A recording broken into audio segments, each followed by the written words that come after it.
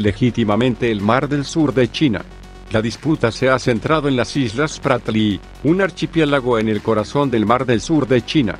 Actualmente, China, Malasia, Filipinas y Vietnam reclaman parte de la cadena de Islas Spratly. Han afirmado sus reclamos al